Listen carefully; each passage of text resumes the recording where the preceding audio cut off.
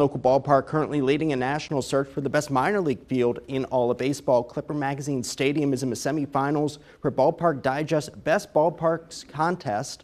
They won the fan vote last year. Voting is open until Thursday, but championship begins later that day. We have a link on our website, abc27.com, for you to vote. And it's been two